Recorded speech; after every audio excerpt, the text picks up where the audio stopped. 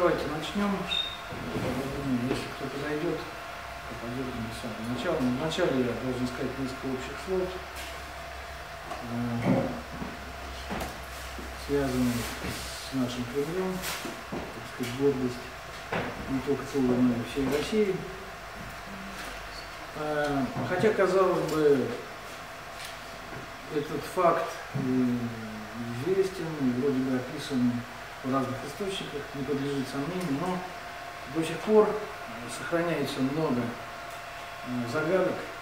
Ну, не так, что очень много, но есть некоторые основные м, такие проблемы, которые не э, решались до последнего времени э, положительно. Э, И, в общем-то, я попробую на, остановиться на них и значит, осветить свое видение эти- этих проблем и надеюсь, что, может быть, это как раз э, э, решение будет этих проблем. Э, Значит, после моей- моего рассказа вы, может быть, это все и поймете.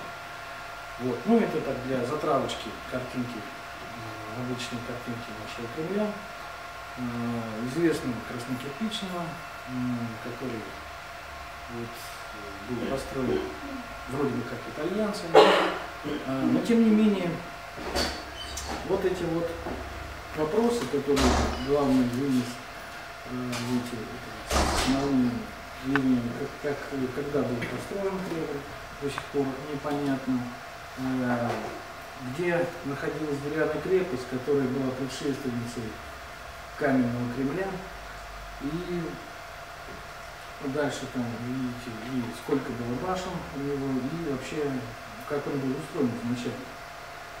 Э, Вот. Ну, сегодня мы э, все эти вопросы не сможем осветить, потому что проблемы такие довольно глубокие, и попробую осветить только первые два из этих вопросов. То есть, а продолжение будет в конце ноября. Значит, здесь вы видите, я свел э, все упоминания о строительстве Кремля э, в различных э, летописях, хронографах, э, летописчиках разных. Ну и основное, как, бы, как вы видите, деревянная крепость, вот средняя колоночка, в ней записывается, причем пишут, э, многие в общем, пишут про это, эту деревянную крепость. И, и в некоторых источниках пишется, а на пятое лето поставили городка. И э, вот это как раз и является от- отсчетом, датой отсчета строительства Тульского Кремля. Э, вот на основе такой косвенной довольно даты, то есть э, впрямую не говорится, но говорится, что вот 1514 год, как историки высчитали, это должно было начаться строительство Кремля. А завершение в 1520 году. К сожалению, в тульской краеведческой литературе еще до сих пор выплывает дата 1521 год, э, неизвестно о чем основана эта дата, потому что все летописи, ну как большинство летописей, э, говорит однозначно, что это зима 1520 года. Вот я даже специально в правой колоночке, можете увидеть, специально выписал, когда именно в ходе летописи, когда это упоминается. То есть это где-то между январем и мартом. В среднем там, февраль или после какого-то января, или после какого-то февраля. То есть это где-то вот зима, конец зимы, весна 1520 года. Но, э, к сожалению, это как бы не все. Есть еще есть вторая страничка. Вот. И э, три последние, три нижние строки, графы, вернее, э, это как раз э, непонятные сведения, э, иногда которые ложатся в основу новых версий. Одна из них это вот э, краткий Кирилл Глазевский летописчик, э, вроде бы который был написан в 30-е годы, то есть довольно быстро, почти по горячим следам, э, и вот эти известия там вроде бы довольно все хронологически увязывается, но э, стоит именно дата закладки это 7015 год или 1507. Вот, то есть деревянная крепость в 1509, а вот по этому летописчику каменная уже заложена в 1507 году. И в результате появились различные версии. Ну, первоначальная, вот э, деревянная крепость, которая была заложена, это еще в начале 19 века э, известный тульский просветитель Василий Левшин э, предположил, что деревянная крепость это как раз вот это вот, к сожалению, надо было укажешь. Нижняя часть вокруг Кремля это вот деревянный острог, который был возведен уже после каменного Кремля. Но он предположил, что это как раз изначально деревянная крепость, внутри которой был построен каменный город. Ну, в, и это даже вот долгое-долгое, ага, спасибо, если что, долгое-долгое, это, вот видите, даже еще и в книге 94 -го года, 1994 года, э, реконструкция нашего земляка Клименко, вот такая вот красивая деревянная крепостца идет, ну, тоже, говорится, он э, был поклонником, поклонником этой версии. Однако в середине 20 века, э, в середине 20 века, э, архитектор Косточкин, он историк архитектуры был и довольно сильный специалист, он сказал, что вообще невозможно было построить в то время теми силами деревянную крепость настолько грандиозную, чтобы внутри ставить каменную крепость. И он предположил, что вот на основании этого Кирилла Белозерского летописчика, он предположил, что в 1507 году Кремль был заложен как каменный, потом в 1509 году продолжен был как деревянный. Ну а Другой архитектор, тульский наш архитектор Александр Шевчук, он э, связал это с э, событиями истории России. Э, в 1508 году было возобновлено строительство каменной Нижегородской крепости, и он предположил, что э, вот этих тульских строителей угнали туда. Соответственно, Тулу начали продолжать в дереве э, строить. Ну, а потом в 1500 2014 году они вернулись и продолжили опять каменное строительство. Ну, не знаю, э, насколько это все верно, были случаи действительно э, строительства подобным образом. Э, ну, например, Казанский Кремль строили вначале в дереве и постепенно заменяли эти деревянные стены башни каменными. Также это было на Псковской земле и город Бедов Э, вначально была построена, построена одна каменная стена и три значит, деревянные, которые потом со временем, там, в течение лет 100, 150 заменили каменные. Вот. Но здесь э, подобное строительство, оно немножко, ну как, оно, оно немножко фантастично, потому что э, в, в доме том же заменяли, и она крепостца была поменьше, и там заменяли на протяжении 100 лет, Э, в Казани тоже лет 20 строили, а здесь за какие-то там 6, 7, 8 лет э, поменяли в корне, так сказать, всю э, концепцию строительства. Э, ну и, конечно, доказать это археологически, документально понятно невозможно, документов об этом не сохранилось, археологически тоже, потому что если действительно происходило строительство на месте вот каменных стен, стоящих сейчас, ну, если только э, найдутся, обнаружатся какие-то остатки э, неизвестных ранее укреплений, каких-то деревянных стен, ну, что, ну, в принципе, да, это, это вряд ли возможно. Поэтому э, археолог тульский э, Якимов Юрий Георгиевич, он предположил другую версию событий. Он предположил, что Крепость на самом деле деревянная была, ну вернее как, Кремль был заложен в 1507 году, вот здесь вот видите, это Кремль, а на другом берегу Упы, вот здесь вот, где сейчас оружейный завод, на так называемом старом Тульском городище была заложена, ну, поставлена деревянная крепость для, э, так сказать, защиты обороны каменного строительства. Ну, э, версия о старом Тульском городище, ой, а вот, это вот справа как раз Клименко пытался э, реконструировать крепость, которая могла выглядеть. Ну, это больше все-таки напоминает Билибина э, или Васнецова Василия, то есть это более сказочное нечто. Я думаю, вряд ли ставили таких. Ну, вернее, это, вот эта вот э, архитектура, она уже на, ну, взял, видимо, эти образцы из э, поздней деревянной архитектуры Сибири, севера, которые сохранились до сих пор и в некоторых музеях э. Вот это еще вид как бы на нее. А вот вид оружейного завода. И видите, вот возле здания оружейного завода маленькая церковь, которая, в общем-то, и стала, вот она, церковь э, Воскресения Христова, которая стала основой для версии старого Тульского городища. Эту версию старого Тульского городища и то, что там была древняя Тула, то есть Тула с 12 века, а, но потом, видимо, на этом месте была возведена деревянная крепость в 16 веке. Вот. Ее тоже э, в свое время озвучивал Василий Левшин. А после того, как Афремов нарисовал уже глобальный план укрепления Тулы, это стало таким каноническим и до сих пор продолжает бытовать эта версия, что да, на правом берегу Грипы. Но, к сожалению, археологических исследований там никогда не проводилось.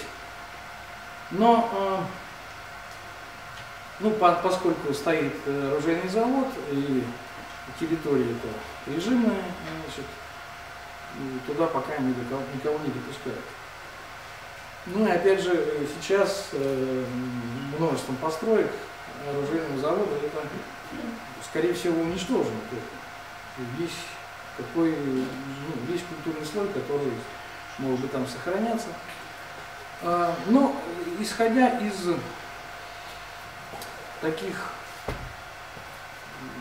ну, просто общих таких археологических э, понятий, из понимания ситуации, все-таки на данном, ну видите, берег довольно низкий, э, никаких возвышенностей, то есть древний город вряд ли мог быть построен на этом месте, поскольку ну, древние русские города строили все-таки на вершине, ну, на верхотуре, на каких-то э, таких возвышенностях, возвышенных берегах. И э, то есть древнего города там однозначно не могло быть. Что касается деревянной крепости, то у меня на этот счет есть Э, свое мнение, значит, особое, которое сейчас я и озвучу. Значит, на самом деле вот эта, креп... Э, вот эта церковь, она как раз и стала э, таким вот краеугольным камнем версии старого гранича. Потому что эта церковь, ну, сейчас, наверное, не очень хорошо видно, да, но я немножко как бы почитаю или озвучу. Значит, э, в Песовой книге это один из вариантов. То есть э, подобные документы встречаются на протяжении 16-17 веков и в таком вот сочетании. Либо э, значит, на посаде, на Туле на посаде, за упой от устья речки Тульцы, вверх по Упе, по берегу, на старом Натульском городище, церковь теплое введение э, Пречистой Богородицы. Ну, потом она вот была пере, переосвящена во, во имя воскресения Христа. Христа. Значит, ну и там э, здесь расписывается, что э, старое городище, ну, э, тульские э, писцы межевые, которые отмеряли и есть, записывали земли за Э, все, ну, за разными категориями населения. Значит, эти песцы э, старое городище, что усть речки Тулицы, отмерили под новый девичий монастырь. В длину 70 сажен, а поперек 30 сажен. Ну, это довольно большие пространство, ну где-то,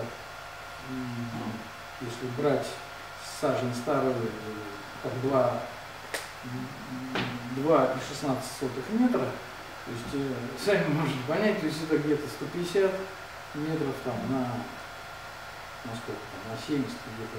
Довольно большое пространство. Но это еще не все. И там на старом же городище подле реки Тульцев отмерено Веденским попам. То есть это вот этот причта, который при этой церкви находился. Э, значит, да, Дьякону, Пономарю, Проскурница. Вот дворы в длину 30 сажен, поперек 10 сажен, то есть еще примерили земли. А, Попом, ну и э, им, значит, со старого места снести, перенести на новое место надо свои дома. И отмерили против этого городища за рекой Тулицы. Ну, я предполагаю, что это по правому берегу, тут, берегу Тулицы. То есть сама церковь и все остальное, что меряют, это на левом берегу. А э, покосы, которые, например, еще, это по правому. Ну и дальше от старого городища считают вверх по реке Тули, там уже у Перни, там уже идут э, дома служилого населения, детей боярских и так далее. И там, ну, там оно немножко прекращается. Ну и вот из более поздних э, материалов, которые были опубликованы краеведами Троицким и Арсеньевым в 1888 году, это подробная довольно книжка, соборы, святые, соборы, э, святые храмы города Тулы. И там вот, вот я чуть-чуть выделил, внизу видите, что соборе воскресения Христова, старого городища, Стрелова. И вот э, это, эти вот эти фразы, которые то там, то тут, э, так сказать, по текстам документов э, мелькают, э, вот эта церковь старого городища, то есть церковь на старом городище, значит здесь точно было городище. Но существует в той же самой книге 1888 года приводится э, замечательный документ, в котором пишется, что э, Христорождественская церковь села Челкова э, в стану в старом городище, закончен, закончен э, Долматовым Карповым, значит, э, ну, приданный от жены, то есть он получил приданное с женой земли на селе Рождественском и Челково тоже. И самая последняя судьба, одна из челобитных была, ну, люди просили вернуть им кое-какие земли, и в, значит, писали, что в Тульском уезде, в старом городище, то есть, обратите внимание, Выше мы видим стану в старом городище, а внизу просто в старом городище. Под самой стеной Тулы, значит, э, село Рождественское, Чулково тоже. Если мы посмотрим даже старую карту 17 века, э, ну, то увидим вполне неплохой разнос. Вот церковь Воскресения Христова, и, соответственно, старое городище должно быть здесь. А это Чулково. То есть, ну я смотрел по современной карте, между ними где-то 2 километра. Ну, э, это тоже старое городище. И это старое городище. В чем проблема? Кажется, да? Ну, 2 километра для городища это все-таки слишком много. Мы не можем представить здесь Пактова и городище такого уровня. То есть это мегагород которого не существовало все-таки э, в свое время. А дело в том, что все эти земли относятся к стану старое городище. То есть в Тульском уезде было несколько станов. Заупский, Заострожный, Нюховский, Глутинский и стан Старое Городище. Э, и мы видим, что в другой, в других фрагментах Пиццовой книги э, там вот, например, описывается стан Заупский и пишет, что ну там ну, эти, господи, кто это? Ну, в общем, дети боярские взяли и поменяли свое поместье в Заупском стане на поместье в старом городище. И, как видите, люди, ну, песцы, по крайней мере, не заморачивались тем, что стан старое городище или старое городище, для них это было почти все, все равно. А дело в том, что эта ситуация, видимо, была настолько известна и писцам, и государевым людям, и вообще местному населению. И поэтому зачастую простан, ну, вернее как, простан иногда упоминали, иногда ну, часто нет. И получается, что все эти упоминания, вот я просто специально э, э, сделал, так сказать, несколько примеров этого, что вот этих упоминаний без слова стан. И получается, что все эти земли находятся в стане, старое городище, а не на старом городище. Как могло бы следовать, в общем-то, ну, судя по логике, по крайней мере, Лешина и его последователей. То есть здесь же вот, это отдельно описанный старый стан, старое городище, в котором около сотни деревень, сел, каких-то пустошей, ну, в общем, неимоверное количество земли. Но он описан в той же самой песцовой книге гораздо позже, чем описана была вот эта церковь, э, которая ну, находилась на самом краю этого стана. Вот, видите, это вот э, другая часть, там мы видели край, самый краешек, э, а это центральная часть этого плана, где вот как раз все прекрасно указано. Стан старое городище и э, железные заводы возле старого городища. Вот. А вот так выглядел сам так сказать, непосредственно стан Старое Городище. Вот здесь самый краешек, это церковь Воскресения, это вот село Чулково, а сам стан, центр этого стана, было село Старое Городище, которое располагалось возле э, старого городища, ныне это Торховское городище называется, э, известное довольно давно, известным давно почти всем археологам, по крайней мере, русским точно. И таким вот образом получается, что э, эти земли, которые отмежевываются возле Тулы, принадлежат к стану Старое Городище, но упоминаются не, ну, как, недалеко от описания города. Вот возникает вопрос, а почему так могло возникнуть? То есть они как бы оторваны. Ну, видимо, э, в тех песовых книгах как раз говорится о том, что старый собор старого городища, то есть он не, незадолго до описания земель, до составления песцовых книг в 1588-89 году, и в песцовой книге уже называется пустоши, что было село. Э, видимо, был перенесен на новые земли, но в пределах этого э, одного стана. Ну, а к тому времени, видимо, уже на Туле, вокруг э, каменного города, были поставлены стены острога деревянного, и э, соборную церковь уже, в принципе, некуда было помещать. То есть, ну, опять же, тут был отстроен, в центре Кремля был отстроен новый храм, а старый храм поместили как раз на э, правом берегу Упы, но недалеко от Кремля. И соединял их между собой мост, в принципе, собор оставался практически в центре, ну, как бы, ну, возле центра, недалеко от центра. А потом, впоследствии, эти земли вместе с храмом отмежевали в другой уезд. И само название осталось. И получается вот такая петрушка через полосица, что вот этот вот кусочек,